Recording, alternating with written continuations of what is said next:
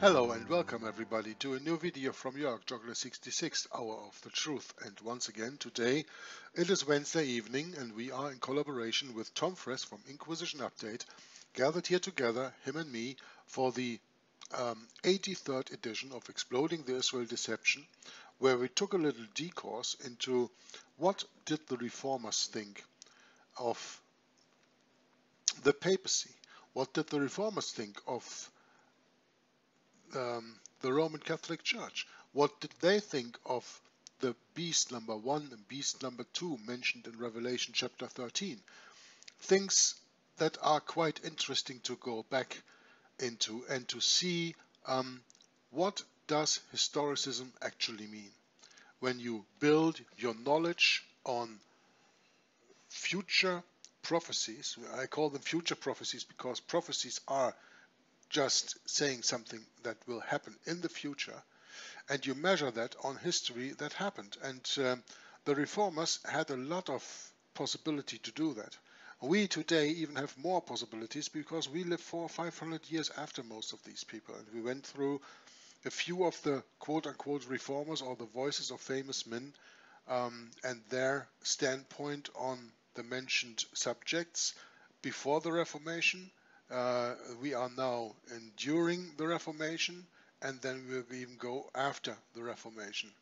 And um, after the Reformation, yeah, maybe a few hundred years ago, you still had a lot of people who had a not only a meaning on that, but also wrote books about that and taught about that. But today, you have most and for all false teachers. The world is full of false teachers.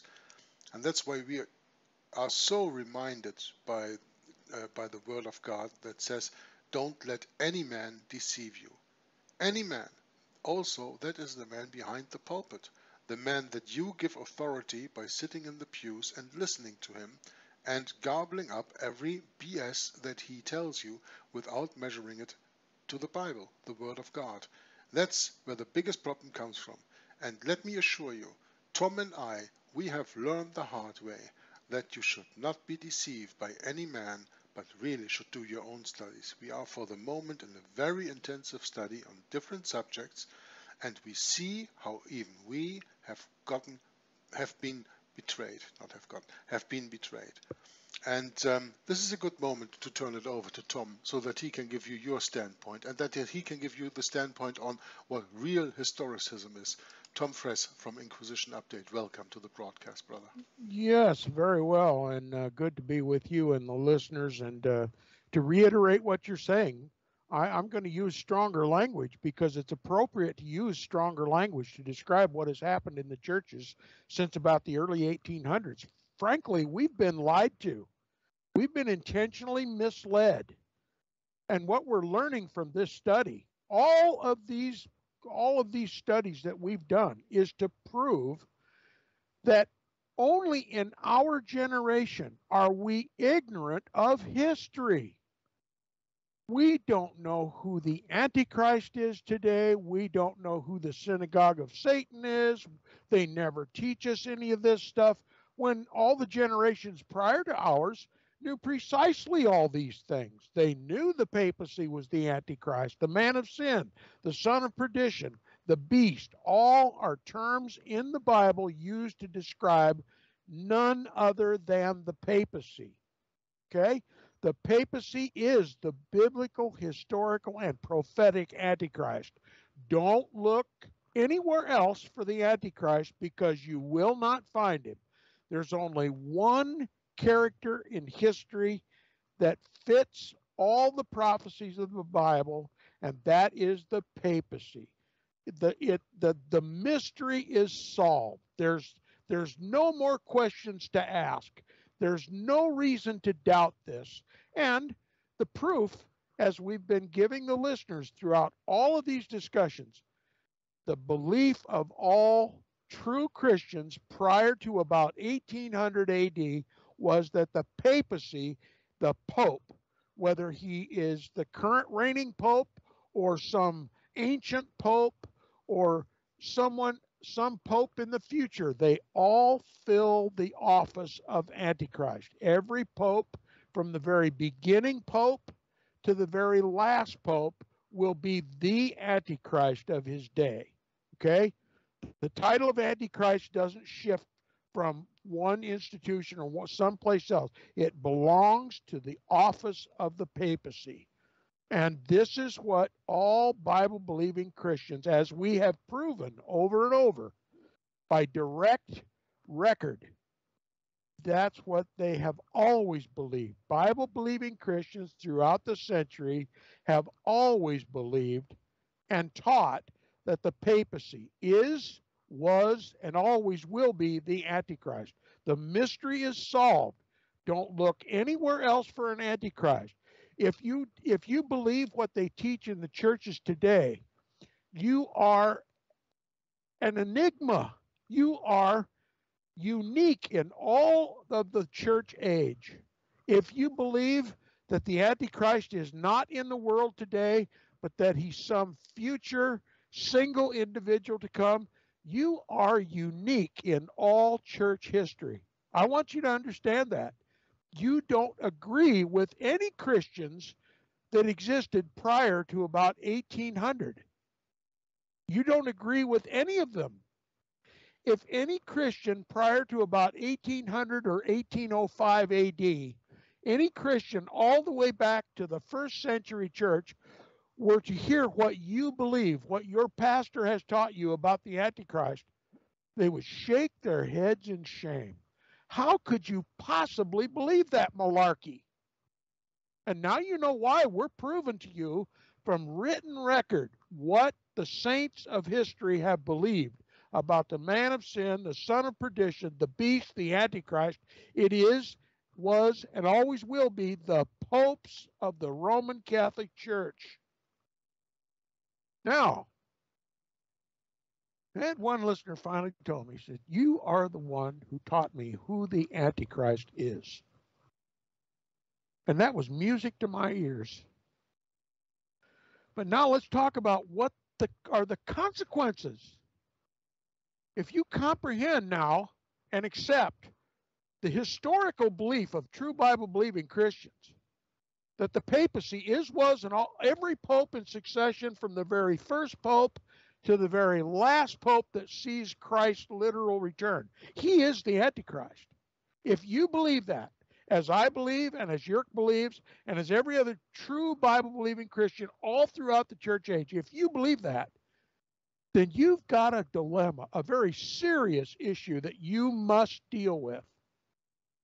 Why do you still sit in a church that teaches that the Antichrist is not in the world? Why do you still participate in a Christian organization that calls itself Christian but is not Christian at all? Who says the Pope is not the Antichrist? It's some geopolitical religio political leader that is yet to be seen in the world, that will deceive the whole world, that will persecute the saints, and on and on and on. When the papacy has always done these things. What are you going to do? Are you going to still continue to to finance and to to show yourself participant in these wayward churches, there's no other way to describe them as than as apostate churches. How could your pastor leave you ignorant as to who the, the Antichrist is? Let me tell you something. If you don't understand, the Protestant Reformation took place because a vast number of Roman Catholics, having read the Bible for themselves for the very first time in their lives, about 1500 AD. The printing press came out. The Bibles were being were tra- being translated into every language. People were beginning for the first times in their lives to read the scriptures for themselves, and they all came to the unanimous conclusion: well, this is describing the papacy. It can't be anybody else. Our Pope our Holy Father in Rome is the Antichrist, the very man of sin, the son of perdition. And so they came out of the Roman Catholic Church like scalded dogs. They were worshiping in the synagogue of Satan. They were worshiping and obeying the man of sin, the counterfeit Christ in the world, the popes of Rome. And they educated the whole world who the Antichrist was. Of course, they couldn't educate the Christians throughout the centuries who have always known that the papacy was the Antichrist. These were Roman Catholics that came out. The Protestant Reformation was led by Roman Catholics who finally came to the realization that their most holy father in the Vatican is the man of sin, the son of perdition, the beast. And they came out and joined the saints of Almighty God throughout all the generations in the single belief that the papacy is, was, and always will be the Antichrist. What has happened since then? Well, they began to teach in about 1800 that the papacy is not the Antichrist. The papacy is future.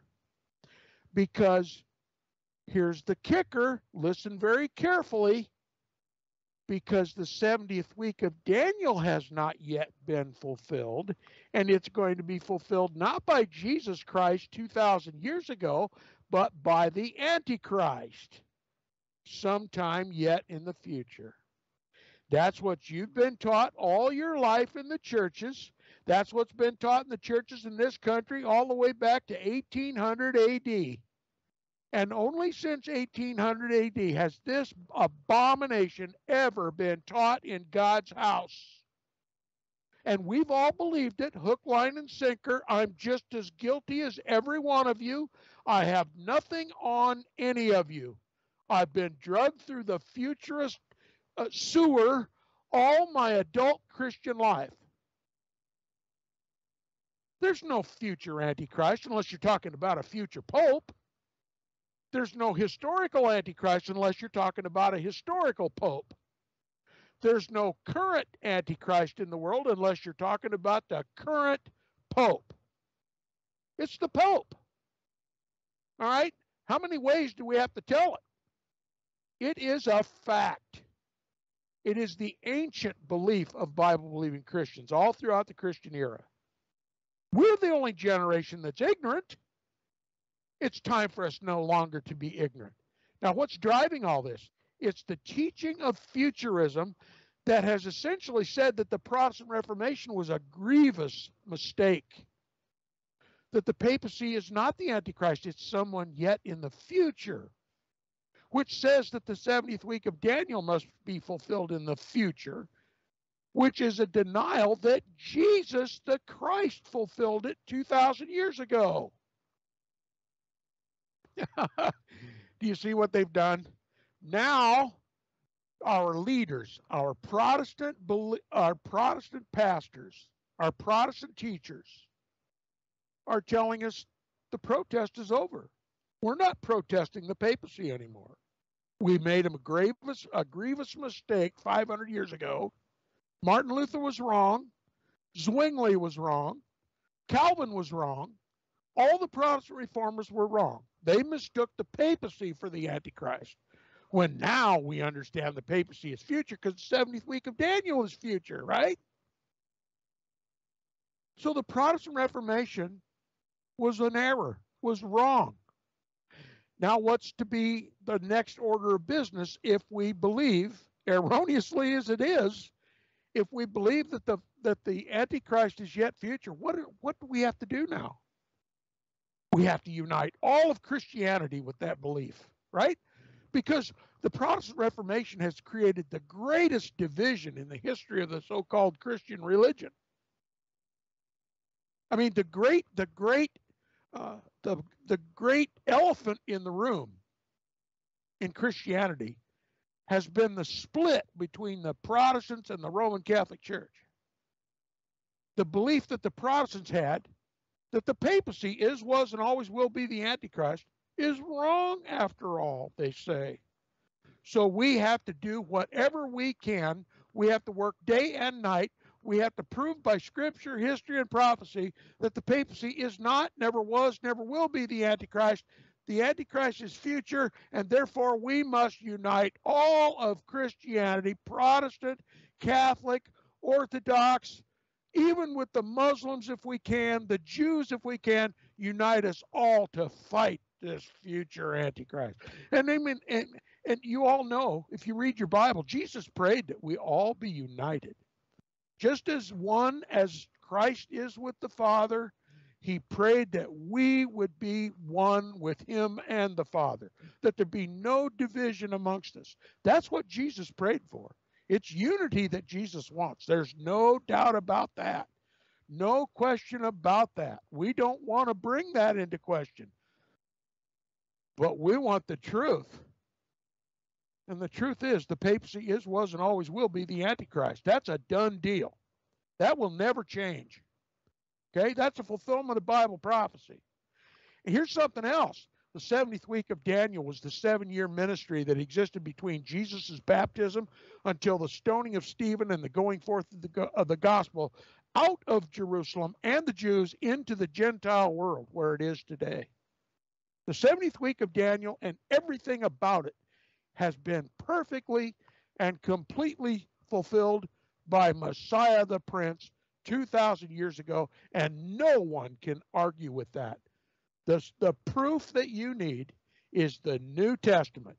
It is the perfect, infallible, historical record of every jot and every tittle of Daniel's 70th week being fulfilled by Messiah the Prince.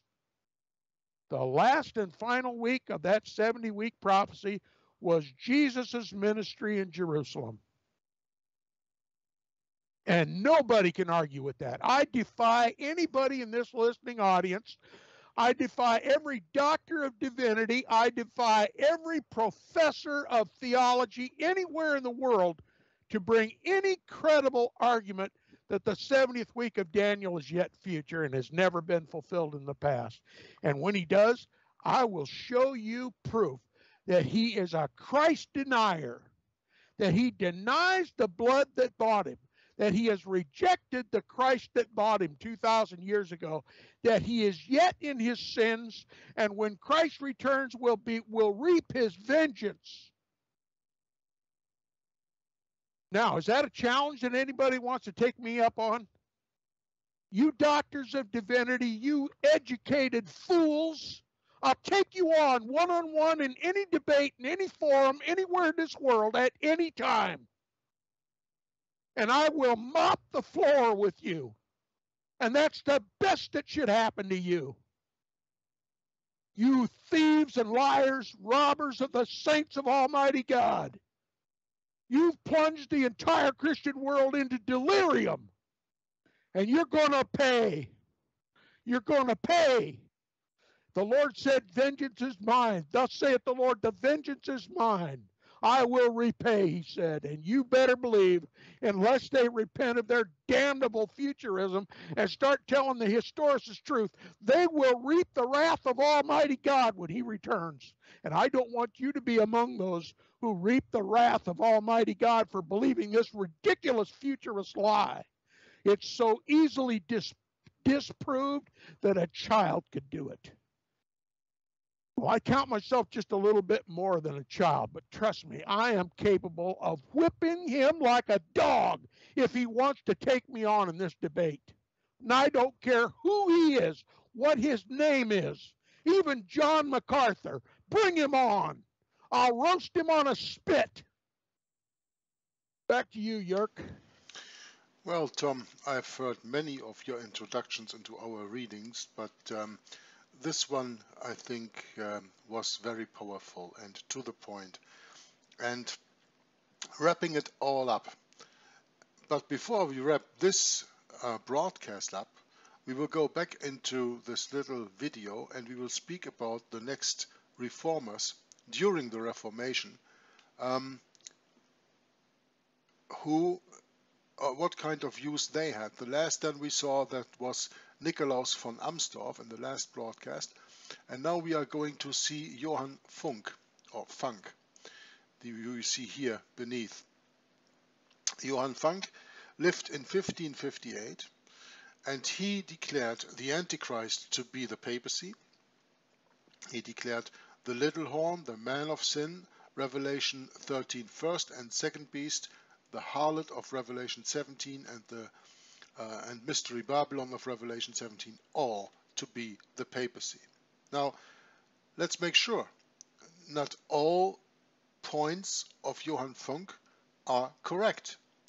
Not all points of all the reformers are correct. But in one point, and this is uh, when you look through this list, in one point they all agree. The Antichrist is the papacy.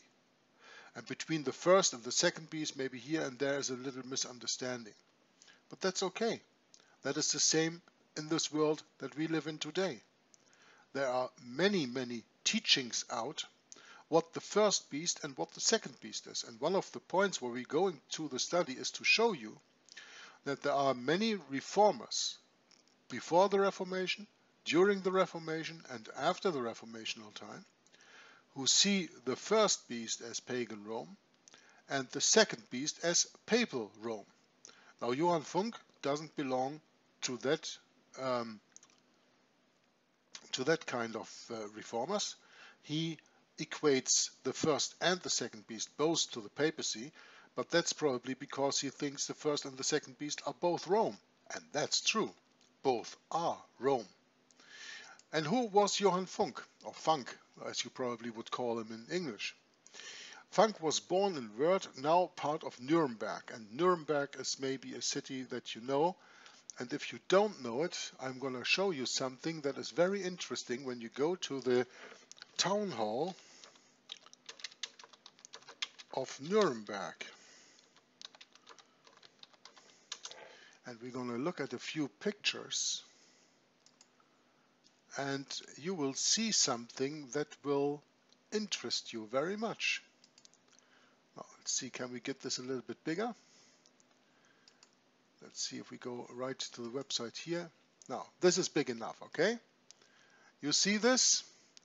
This is the town hall of the German city Nuremberg, who most of the people probably know because of the Nuremberg trials after the Second World War. And this is the town hall. This is the entrance of the town hall that was built by reformers. And what do you see? You actually see pictures of the beasts as they were predicted by Daniel. You see Babylon, Medo-Persia, Greece and Rome above here. I think that is very interesting to know that Johann Funk, a reformer who we just speak about, came from a part of Nuremberg and then you look at the Nuremberg City Hall or Town Hall and you see these pictures. You can even see them today.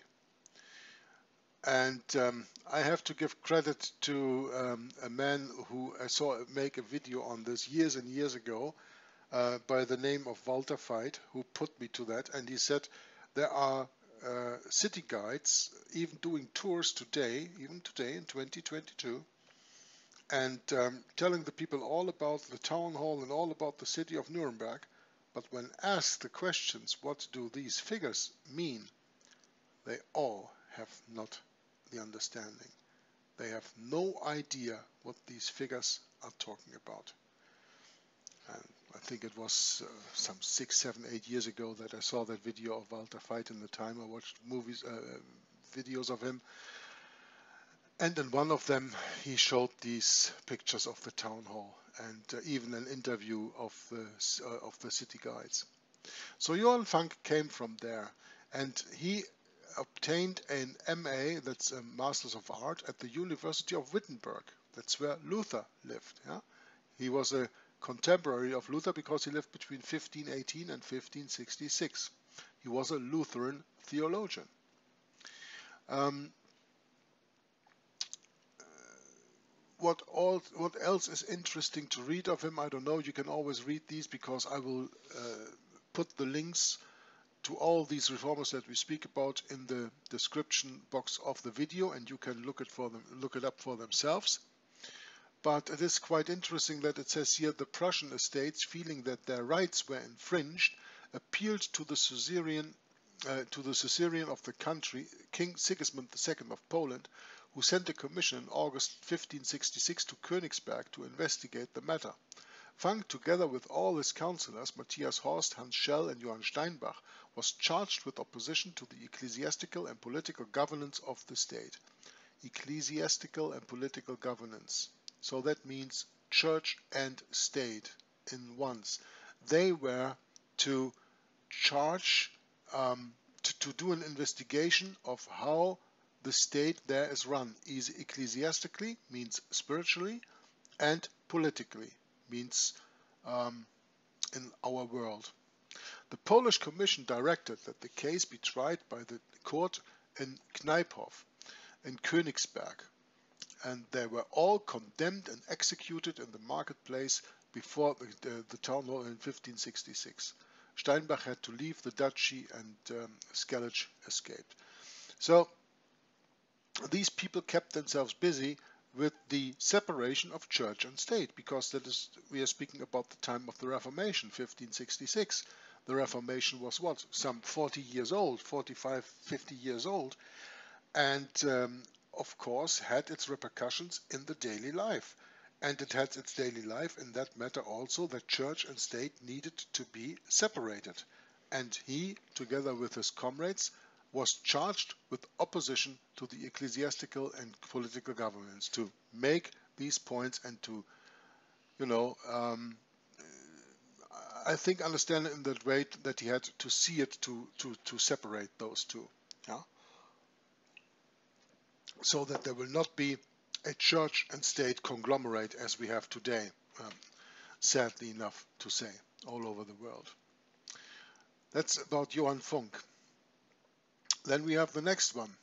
Uh, his name is Virgil Solis. Virgil Solis also identified the Antichrist, the little horn, Revelation chapter 13, the first beast, not the second, Revelation chapter 17, the harlot, and Mystery Babylon, all as the papacy. Now, who was Virgil Solis? Now we have to take a little look into him. He lived between 1514 and 1562. He was a member of a prolific family of artists, was a German draughtsman and printmaker in engraving, etching and woodcut who worked in his native city of Nuremberg. So he comes from the same city that um, uh, Johann Funk came from. Oops, what, what's that? Oh. Uh, what happened here now? My computer all of a sudden everything went black. Um, Tom, are you still there? Yes, I'm still here. Did you see that? Everything went black. Yeah, I'm not sure what that was. I mean, I, I saw it. It's, it's, still it still records, so we can probably go on. But uh, yeah, the recording is still running. It says so in Skype too. Yeah, it's also running. Okay. Uh, yeah. Okay. That threw me off the horse a little bit. um, so why do I have only here this Virgil Solis page? And uh, let me just check here. There's something something is wrong here. So that's better. Uh, we have had this. Uh, the computer must have had a problem here. So this and this. So Virgil Solis, he lived between 1514 and 1562. His prints were sold separately, meaning the etching, uh, meaning the etchings and engravings, or formed the illustration of books, normally woodcuts. Many prints signed by him are probably by assistants. Um, it's interesting to know that he was a kind of artist who put these things in woodcuts, as, you can see here um, because uh, Martin Luther also had this um, one artist, I just uh, forget his name for the moment, who did a lot of the en en engravings and um, illustrations to Martin Luther's books, like um, The Papacy and Institution of the Devil, for example. Um, I will come to his name probably a little, a little bit later. Um, he published an armorial of the Holy Roman Empire in 1555. Uh, what is an um, armorial? That is a um,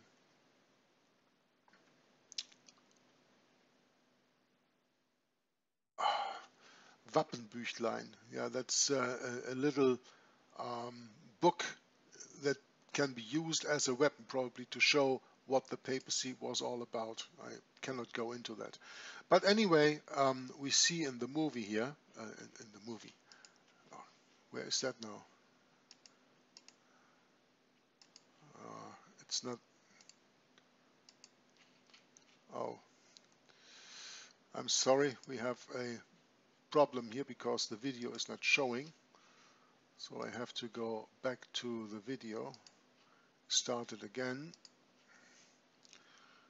I don't know, that never happened before. Beast by Reformers, here it is. And here we were at Virgil Solis. You know, th this can happen when you go live with things like this. All of a sudden you have the technique uh, leaving you in the cold rain. Huh? Okay, Virgil Solis, enough on him. Then the next one we speak about is George Nigrinus. He uh, identified the Pope as the Antichrist, but also thought maybe the Turk was the Antichrist. Well, you have to understand in that time the Turk, the, uh, the Islamic army, uh, stood before the walls of uh, Vienna even. They were really conquering all of quote-unquote Christianity. So I think it is understandably that George Nigrinus maybe was taken a little bit wrong there by understanding that the Turk is the Antichrist, but also he understood that the Pope is the Antichrist. With that, he was right. The man of sin, of course, is the papacy. Revelation uh, chapter 13, the first beast, is pagan Rome. And Revelation chapter 13, the second beast, is papal Rome. Now, this is a very important point to understand because as you will see in future studies that Tom will probably do with me, I hope it, and pray at least that that will be so, when we got a little bit deeper into the matter in biblical verses and that we are really settled in the understanding of it, we will show to you that the first beast of Revelation 13 is pagan Rome, and then the quote-unquote fall of Rome, the morphing the morphing, let's say, the morphing into the papal, the Holy Roman Empire, as it's called today, is the second beast. And that is the healing of the wound. No 1929, no 1866 um, wound or 1798 wound or whatever. We will show you a completely different understanding. And even George Nigrinus, who lived in the 16th century, understood that the first beast is pagan, and the second beast is Papal Rome. Now what do we know about him, George Nigrinus? I have no, um, I have found no Wikipedia info on him. So that's why I opened this page, because I was looking for him, and here is a record ID on Nigrinus George. You can see that's the guy we are talking about. He lived between 1530 and 1602. He was born in Battenberg on the Eder, and he died in Echzell. He was an evangelical, controversial theologian. He was a schoolmaster in Buchau and in the Latin school in Munich. He was a pastor in Bürgeln and Kölbe, in Homberg, Ulm and Gießen, and he was a superintendent of the High Hessian Diocese Alsfeld-Nidda in Echzell-Wetterau. Um, he worked between 1555 and 1598. Um, and then it does just give a little bit information on him. But there's, as I said, there is no information on uh, Wikipedia on him, which is easier to see. And this is here in uh, even in uh, Dutch.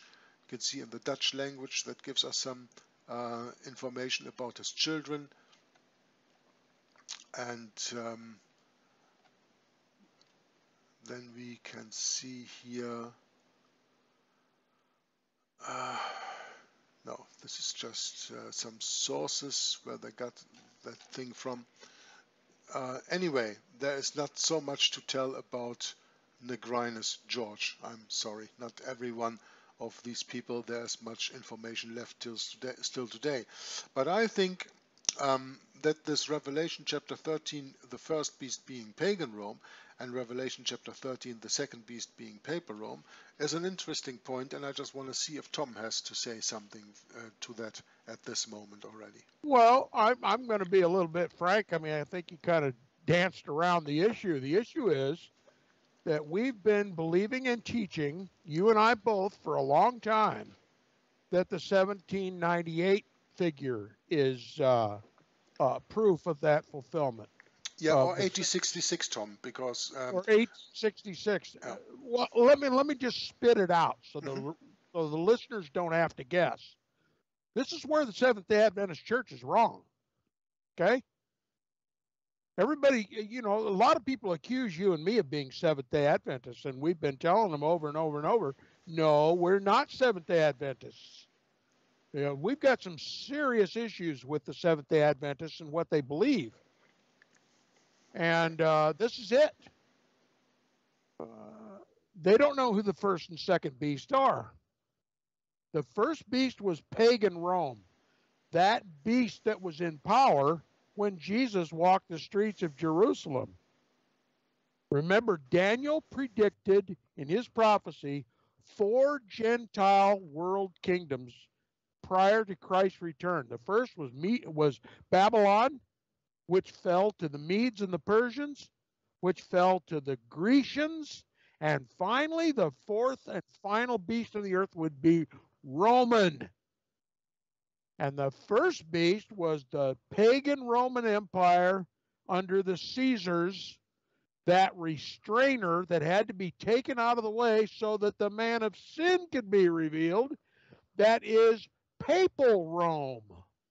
It, the second beast is papal Rome that replaced the first beast. Paul talked about this. Paul talked about the one who had to be restra- was restraining the rise of the man of sin was the was the Caesars in Rome, and that's why he couldn't spit it out directly for fear that his letters would fall into Roman hands and he'd be persecuted, if not killed, which eventually was. But the Thessalonians and all the Christians in, in Jerusalem in the first century would have been persecuted by the Romans for believing that the Roman Empire was about to crumble the Caesars were about to be taken out of the way. The government of Rome was going to be replaced by another Roman government, the man of sin, the son of perdition, that had to be revealed before Christ returned.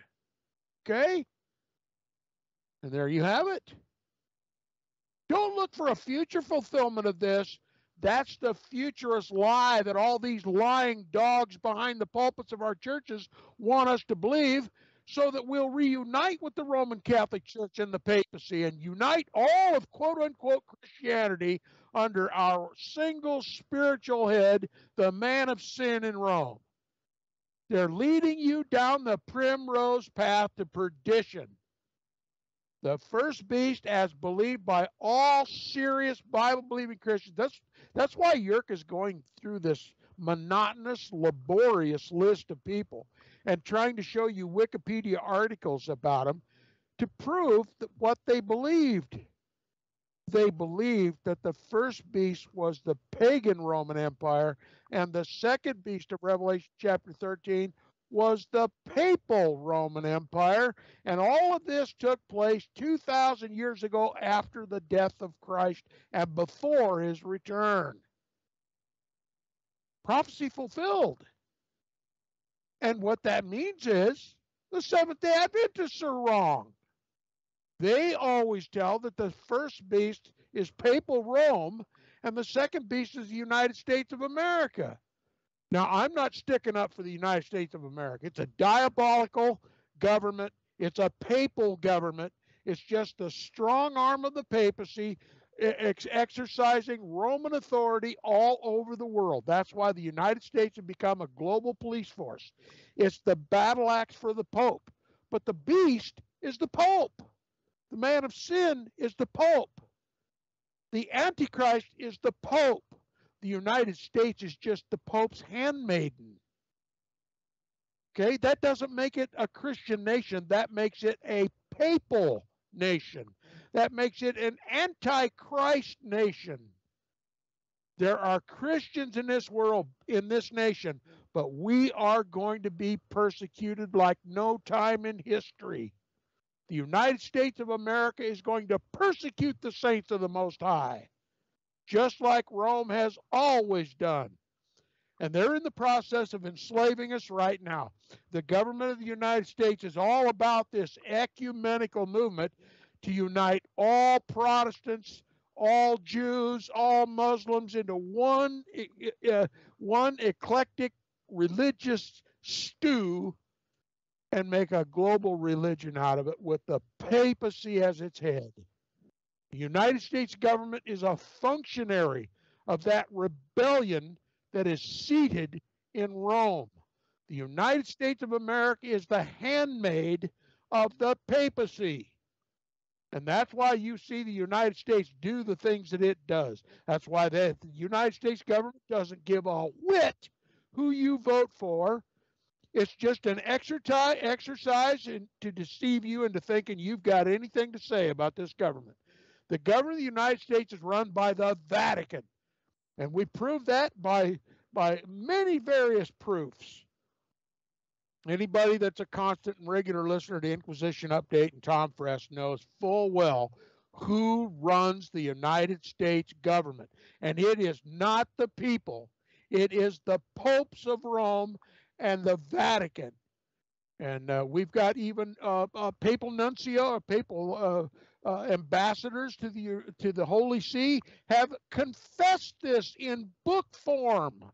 I read that book verbatim on the air, and it's an admission that the papacy controls both foreign and domestic policy for the United States. You know what that means? All of our foreign policies are controlled by the Vatican, and all of our interior policies are controlled by the Vatican. You know what the interior policies are? The civil laws of this land, federal, state, and local the Vatican controls the laws of this country to make you conform to Roman Catholic canon law.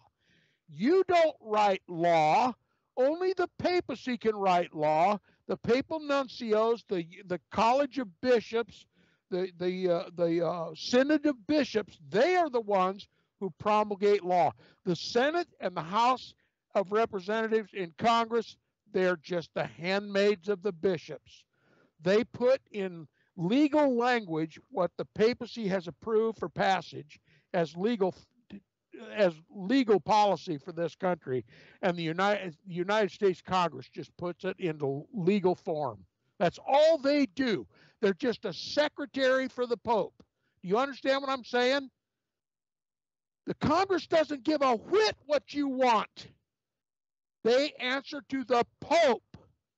They answer to the College of Bishops. And they are the ones who promulgate law. And that is to make you obey Roman Catholic canon law.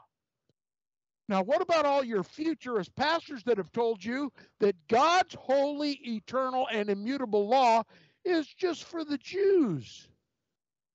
Are you getting the picture? They've been lying about that too.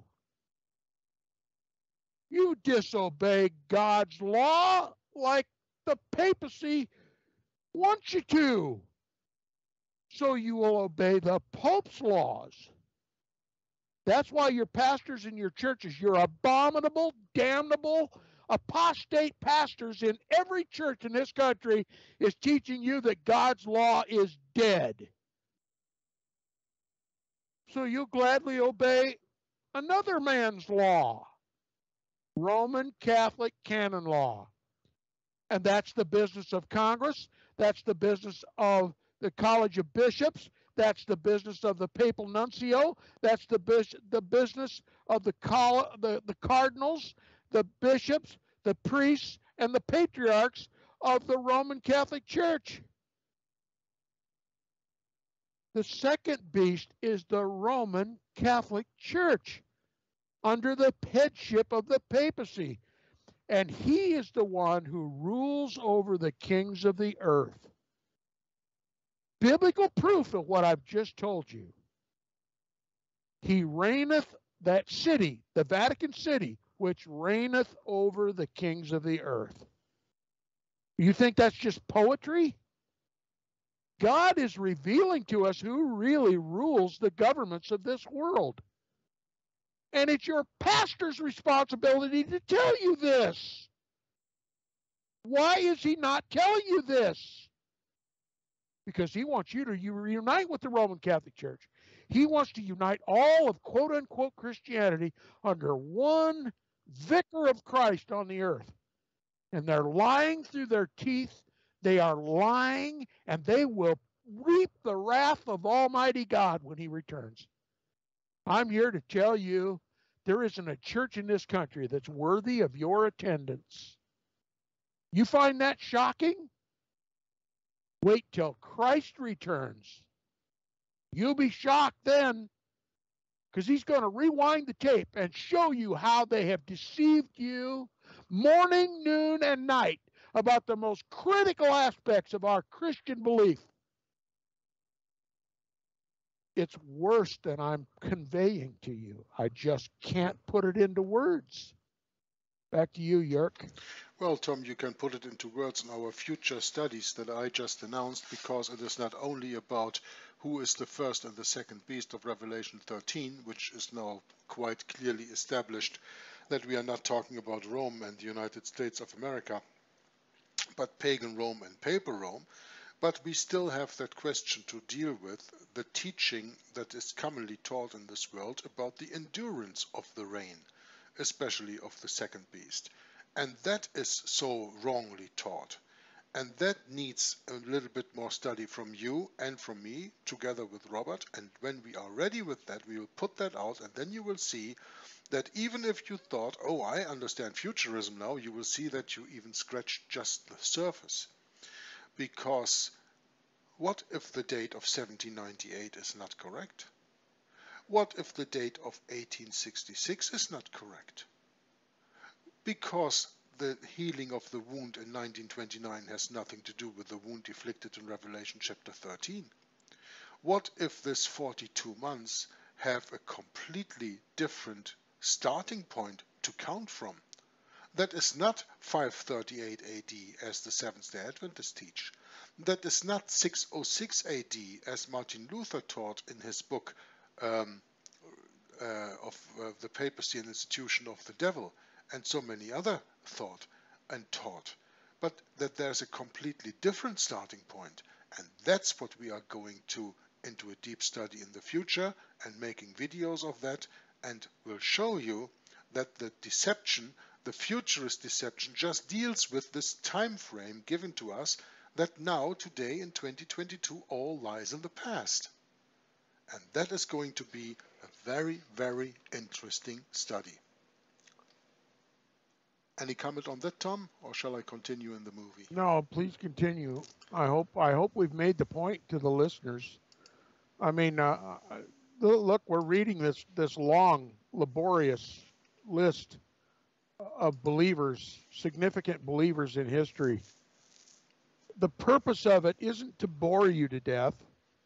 The purpose of it isn't to demonstrate our minute understanding of the history it's to prove to you what God's people have believed throughout history about the Antichrist, about the man of sin, about the beast, the first beast and the second beast.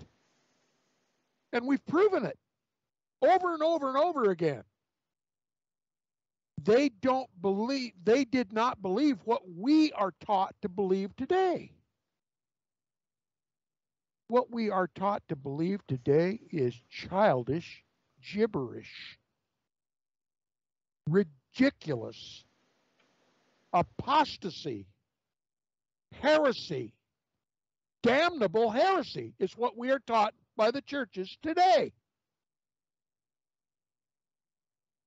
And we are an extreme minority in the history of the Christian church. Only Christians from 1800 to the present have ever heard this futurist garbage that they teach in the churches. It's only about three generations. We are unique in all the Christian world. We are the dumbest of the dumb in the Christian world. We are the most deceived generation that has ever cropped up in the Christian belief system. And we got no one to blame but the papacy, the Jesuits and their Jesuit controlled pastors behind the pulpits of our churches. And we simply must come to the truth, and we've got to do it quick, and we've got to take action. There's a lot at stake. Futurism is the most damnable lie I've ever I've ever heard in my life. It has grievous consequences that I can't even articulate. But it has the whole world on the very precipice of worshiping a false Messiah. That's what it's all about. And that false Messiah is the papacy. I can't tell you how serious this issue is. It's worse than life and death. It's eternal life and death. Back to you, Jörg. Yeah, and it really needs more study because even the deeper that we study it, we see that even there are some things that we haven't seen yet and we need to see them. And when we see them, we need to teach them because we don't want to be like the preachers and pastors and priests who, oh, teach the mistake. We want to teach the truth. That's why this is called hour of the truth and why, that's why this is called Inquisition Update, to give you an update on the Inquisition that is coming because you are deceived. Because we've believed a lie. That's why the Inquisition is coming, because we believe the futurist lie. There's a recompense that is about to befall God's people for believing in futurism, believing a lie and I've said it before, I'll say it again. I know some people contend with me on this, but I believe it's the greatest deception since the Garden of Eden. And it has just as serious consequences. Back to you. Yeah, I think the consequences are more or less the same, Tom, because because of the fall in the Garden of Eden, the heavenly gates are closed for mankind, and because of futurism, everybody who believes in futurism, the gates of heaven are closed for him because he believes another gospel. What Jesus and the Apostle Paul, for example, always have warned from. Now let's go into David Chytraeus. I hope that I pronounced this man correctly. He lived in 1572 and he identified the Antichrist, the little horn, and the man of sin all as the papacy. He understood that the first beast of Revelation chapter 13 is the Roman, means pagan Roman Empire, and Revelation chapter 13, the second beast, is the papacy. That was his point of view. So, what do we have to see on him on the internet? David Chytraeus was born in 1530 and died in 1600. He was a German Lutheran theologian, reformer and historian. He was a disciple of Melanchthon, who we already spoke about. He was born in, Ingelfingen. His real surname was Kochhafe, which in classic Greek uh, was that is in, uh, not interesting about his name. Catreus was professor at the University of Rostock, that's in uh, northern Germany, um, Mecklenburg-Vorpommern today on the Baltic Sea, and one of the co-authors of the Formula of Concord. He is known for his work as the author of a Protestant catechism. His original Latin text was published in 1554, then reprinted in 1599. Now it has been translated for the first time in German. It has been published together with editorial notes and commentary by Michael. He is the author of a treatise on music, De Musica. So much on David Chytraeus. We still have another reformer for you, which whose name was Johann Oecolampadius, which sounds quite Greek, uh, if I'm not mistaken. But um, he was a German Protestant reformer in the Calvinist tradition from the Electorate Palatinate. He was the leader of the Protestant faction in the Baden Disputation of 1526, and he was one of the founders of Protestant theology, engaging disputes with Erasmus, Zwingli, Luther, Martin Bucer, and Calvin adopted his view on the Eucharist dispute against Luther. His German surname was Husgen. That's not interesting. Uh, let's see, do we have something here in his career which seems interesting on the first glance when you glance about it that he did? Um, he was able to refrain from some practices he believed to be superstitious, that's always good. Basel was slow to accept the Reformation, the news of the Peasants' War between 1524 and 1525, the inroads of the Anabaptists prevented progress. But by 1525 it seemed as if the authorities were resolved to listen to schemes for restoring the purity of worship and teaching. And that's what we all have to go back to, the purity of worship and teaching, right? without any interference by man, but to go back to the biblical purity of worshiping and teaching. The scriptures alone. Yeah, exactly. Not sola scriptura, that's Latin, but the scriptures alone. In the midst of these hopes and difficulties, Oecolampadius married in the beginning of 1528. Uh, what about his theology? What is there to say? Well, I see here something about the sacrament of the body and blood of Christ. So he is speaking about the Eucharist. What does it say here? His views on the Eucharist prompted Luther to publish several sermons on the subject in 1526. The sacrament of the body and blood of Christ against the fanatics. He did not minutely analyze the doctrine of predestination, as Luther Calvin Zwingli uh, did, contenting himself with the summary, Our salvation is of God, our perdition is of ourselves. Theologically, he was considered to be close to Zwingli, with whom he shared friendly attitude towards Mary and Marian veneration. Well, that's still Roman Catholicism within the Reformers. Even Martin Luther had Mary veneration in his blood until yeah, his death. Just let me tell you, Rome dies hard. Yeah. You can take a man out of the Roman Catholic Church, but it's nigh unto impossible to take the Roman Catholic Church out of the man. And you're going to find many of the Protestant reformers, a goodly percentage of them, continued to believe Roman Catholic doctrine even after they left the Roman Catholic Church, declaring it to be the synagogue of Satan and the papacy to be the Antichrist, and the whole of the church being the the Roman Catholic Church being the scarlet uh, harlot on the Tiber. And they still, unbelievably, they still continued to believe that mother uh, that Mary was the mother of God for crying out loud. They said the scriptures alone. We're going to let the scriptures and the scriptures alone be our pastor and teacher. But they clung to the diabolical teachings of the Roman Catholic Church.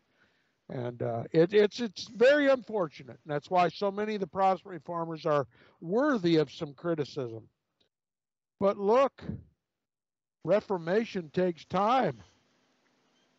You, if you find yourself in a catastrophic accident, do you heal overnight?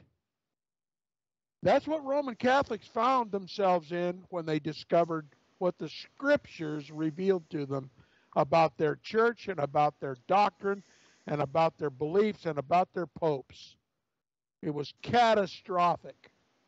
And uh, it took many of them a lifetime to conform to the image of Christ and put away all their Roman Catholic teaching, all their Roman Catholic doctrine. Listen, the transformation that has taken place in my life has taken over 20 years. I'm just trying to get the apostasy of Protestantism out of my life. Think what it would be like for a Roman Catholic. So I think this is why the Bible commends us to be patient. Patient you don't correct a man overnight, especially when he has gone so far astray as Roman Catholics have been led. And regrettably, I'm learning to to understand how far astray I've been led as a Protestant in this country. And I'd beg the listeners' patience with me. Look, how long has it been? How long have I been teaching the 1798 infliction of the mortal wound and the United States being the second beast. How long have I preached that? 20 years. And it's wrong. It's wrong. I repent. God is still correcting me. And what kind of a Christian would I be if God could no longer correct me? Back to you, Jörg. Yeah, Tom, I think the most important point is that you have to understand that you can be corrected and then to accept that you are being corrected and then take on that new information, that new wisdom given to you by studying the Word of God, uh, imputed to you by the Holy Spirit, and bring that out. Uh, nobody ever said 20 years ago that you are infallible or I am infallible or whoever. Uh, only the Pope calls himself infallible. That's why he is the Antichrist. And uh, we are exposing the Antichrist and we are learning every day. We are still learning today things, many things that we took for granted all of a sudden become a question mark. And even some things are so uh, how can I say that, have such a hard impact um, that it really uh, shakes the foundation of our belief sometimes. And if then you understand something wrong, there is a big danger of not only false teaching, but most of all, of false understanding in there. And that is because we rely so many times on so many people in this world instead of just studying it for them for ourselves. I can just name you one little example before we close our broadcast down here, we just come to an hour. I have lately uh, looked into 1 John chapter 5 verse 7, the so-called Comma Johanneum. And I studied it really, not for five minutes or so, but really for a longer time. And all of a sudden, I understood it the way the Bible wrote it, or God wrote it, and not the way that it is taught by mankind. And it gave me completely different understanding, and I'm glad for that because now, all of a sudden, many things that didn't make sense before make sense. And that's just one verse. And that happens with many verses, that happens with many chapters, and that happens with many books. But therefore, you need to study, quote unquote, a lifetime, daily. And that is what separates us from the Bereans that were mentioned in the book of Acts, chapter 17, because the Bereans were, I, I, don't know the exact wording now, but they were better Jews than the ones in Thessalonica because they, they studied the Bible daily and saw and controlled if the things were so by holding everything against the Bible. And that's what we just don't do anymore because we are more or less educated in a way that we put our trust in other people and other writings. Let's not say only other preachers or teachers or whatever, but even other writings, uh, like commentaries to the Bible. And there sits the danger. Now, when you read a Bible like the wonderful Geneva Bible of 1560, which is in itself a wonderful Bible, but then when you get led astray and read the footnotes, and when you read commentaries of the Bible, and all of a sudden you venerate this man for writing that comment and that man for writing that comment over there, and all of a sudden you after a short of time, the deeper you go into the studies, you don't know what to believe anymore because everybody's teaching something else. That commentator said that, that commentator said that. Now, what are you going to believe? Pick and choose. Well, the only pick and choose that you should really make is in this picture here. It is the King James Bible. Let the Bible be the teacher. Let the Holy Spirit be your teacher when he leads you into all truth when you study the Word of God. That is where we have to go back to. We have to go back to the basics. That's exactly what historicism is. Go back to the basics, go to the facts of history, and measure those facts against the prophecy written hundreds of years before they ever happened. And when it matches, you see the fulfillment. But therefore, you need true historical records, and for the study of the Word of God, you need a true, historically correct Bible based on the correct texts and that's the 1611 King James Bible, at least for me and for Tom. That is the foundation of our faith. Yeah, Tom, if you have some closing remarks, I will gladly leave it up to you. Well, and since the Bible, the authorized King James Version 1611, is so much prophecy, then the only way we can get a perfect and correct understanding of Bible prophecy is to have an equally authoritative and correct record of history. And that's the hard part because the papacy has made sure that history is written in a light that doesn't prove the fulfillment of Bible prophecy. Okay? Prophecy is simply history foretold. If God prophesies something to happen, if it's a true prophecy, it will be fulfilled completely and perfectly and right on time so that there can be no question about that prophecy being fulfilled or not, and by whom, and at what time.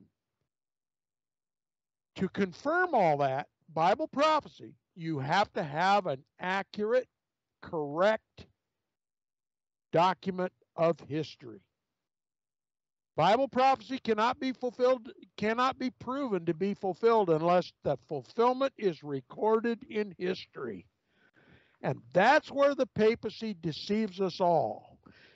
Rome tried as best she could to destroy, destroy the Bibles, burn the Bibles, make sure only the priests of the Roman Catholic Church had a copy of the Bible, and everybody else had to believe whatever the the priester taught him. Bible prophecy was the domain of the priests of the Roman Catholic Church exclusively. And they didn't have to manipulate history because nobody knew the, the true meaning of the prophecies. Now, however, the Bible has been faithfully translated into all the languages of the people so that they can read it for themselves. They can read the prophecies for themselves. And to confuse the people about what prophecies have been fulfilled, what prophecies are yet to be fulfilled, the papacy sees to it, the academics of this world see to it that the accurate record of history has been molested so that we cannot see the fulfillment of Bible prophecy. Listen, if we have an accurate record of Bible prophecy, then no one can deceive us. If we have an accurate record of history, the fulfillment of those prophecies, no one can deceive us. And Rome falls flat on its foundation, not one stone left upon another. So you got to look long and hard for a correct record of history. and that's what we're about here at, at uh, the hour of the truth. That's what this is about. Showing you Bible prophecy and how it was fulfilled in history. And the most important example of that is Daniel's 70 week prophecy and its perfect, perfect and complete fulfillment as recorded in the New Testament. The New Testament is the historical record, the perfect historical record of the perfect and complete fulfillment of Daniel's 70th week.